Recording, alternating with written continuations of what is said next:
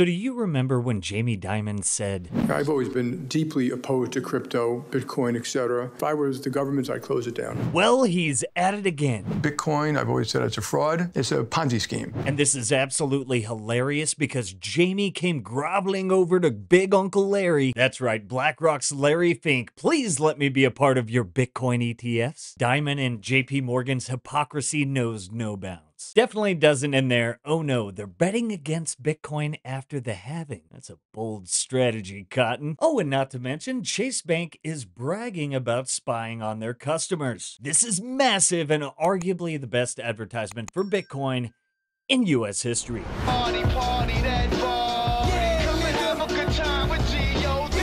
Let's go ahead and check out this article. Chase Bank launches Chase Media Solutions, a new digital media business connecting 80 million US customers with the brands they love. Oh, how sweet. They're just connecting people. Who doesn't want to be connected, right? They should call it hugs and kisses. From George Orwell Do you want to live in a world where Jamie Dimon is the master of the universe?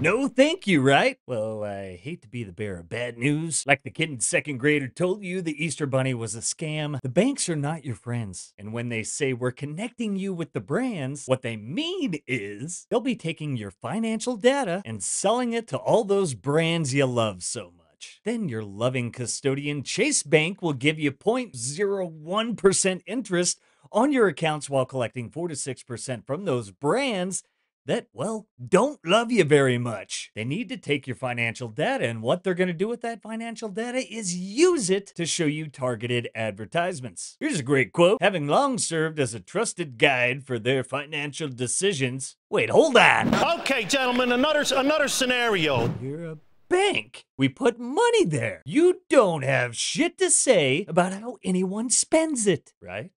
Right?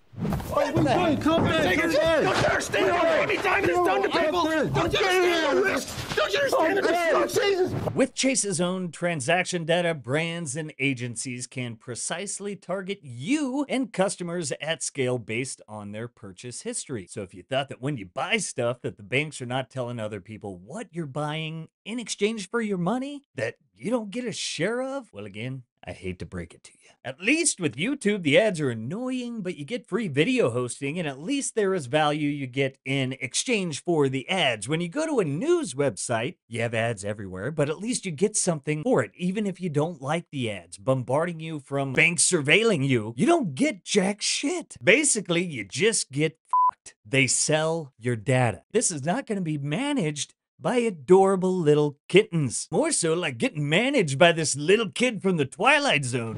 You're a bad man. You're a very bad man. Oh!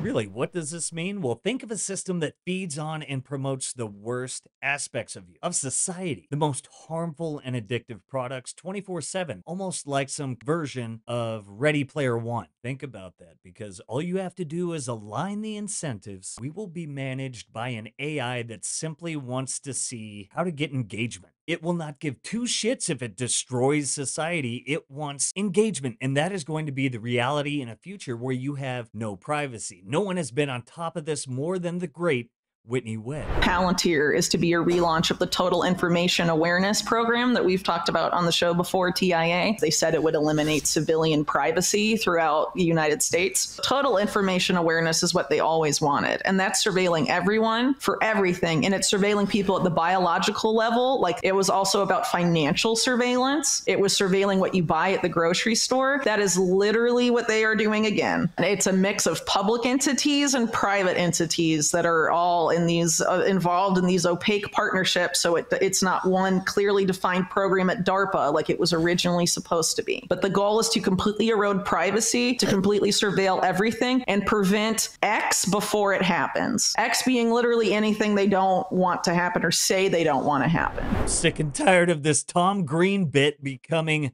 reality. How are we going to evolve as a species with all this new technology taking over our lives? It's going to change our, our physical appearance, right? Think about it. We started out thousands of years ago. We were, we were Cro-Magnon man. We were Neanderthal man, hunched over, and then we evolved and we, we stood up. We became tall. We became human beings. We became tall. We're beings. We're tall. We're tall. We start text messaging. Don't really need our legs anymore. Our legs are going to start to retract into our bodies. Don't really have to go anywhere. Our arms are going to retract into our bodies. Our mouths, we won't need them to communicate. They're going to shrivel up into these straw like pubes. We'll, we'll, we'll suck vitamins through them. Applesauce.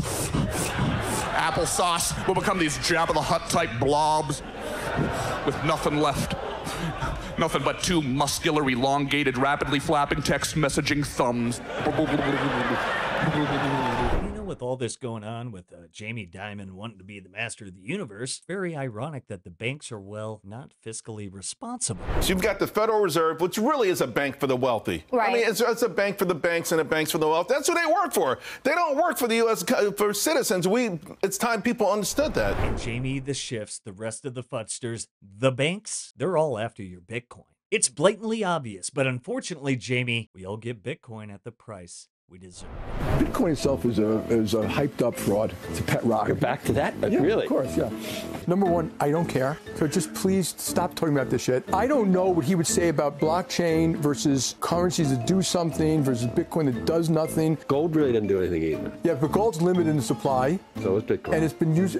Uh, so you think so, huh? I do. I think there's a good chance that when Bitcoin, when we get to that gonna 20 to million bitcoins, million? They go to that- 42? No, that Satoshi's going to come on there, laugh hysterically, go quiet, and all Bitcoin's going to be erased. Jamie Dimon, the banks and the state are losing and continue to provide the greatest advertisements imaginable to use Bitcoin. Now, before we show you why all of this is leading to a Bitcoin renaissance, a great awakening amongst the public to the great question what is money? Is happening. But before that, let's take a minute to recognize our sponsors, the Bitcoin Way, because taking self custody, getting our Bitcoin off exchanges has never been more important. Simply Bitcoin Originals are powered by the Bitcoin Way. They bring over 25 years of cybersecurity experience. They are your IT team in the Bitcoin world. They help bridge that gap from the why Bitcoin to the how Bitcoin. And as your dedicated Bitcoin IT team, the Bitcoin Way is here to guide you from start to finish on your journey to properly self custody your Bitcoin. From your first wallet node to advanced multi sig security, inheritance planning, and much more, the Bitcoin Way has got you covered and they will hold your hand and walk you through the process toward becoming a sovereign individual. Hey, and if you're looking to get started, you can book a free 30 minute consultation using that link below. Hey, MMT is not good for you and me. I mean, look at these deficits. Look at the amount of money spent just to pay the interest, the interest on the national debt. And you know, with banks spying on me, the dollar and fiat going to zero, not to mention Bitcoin being the best performing money or asset in history, I think I'm going to go with this guy. Pay me in Bitcoin or hey, pay yourself in Bitcoin. Check out this clip from Fox Business where UFC fighter Renato Moicano says he wants his MMA bonus paid in Bitcoin and talks about Austrian economics on Fox Business. This is awesome. You want to get paid your MMA bonus in Bitcoin, right? 100%. That's a huge part of the Austrian economic school, right? Supply and demand and scarcity. And I think Bitcoin represents that. The, the Bitcoin, even though it's, is dropping a little bit, I think is a is a defense against the tyrant state, is a defense against inflation too, because eventually it's going to go up because everybody's knowing what Bitcoin is. The dollar is losing value because the interest rates, because the government keeps uh, printing money, Right. keep doing handouts, keep doing welfare to the people. They are not trying to control the supply of the money. They are always printing more. So I think that's going to be beneficial to Bitcoin. He also did it in the ring. I love the Constitution. I love the First Amendment. I love private property. And let me tell you something.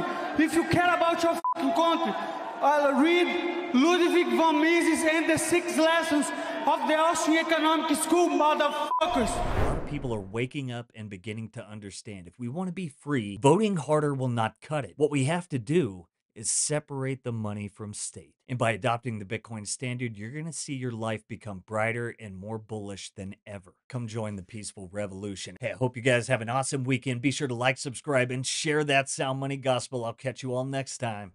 Peace. If you prefer to go down with the ship, fuck you.